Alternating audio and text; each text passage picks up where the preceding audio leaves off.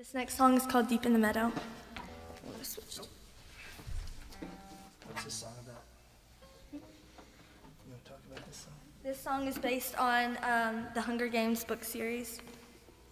It's fr- it is a poem from the book, and I wrote the melody to it. So.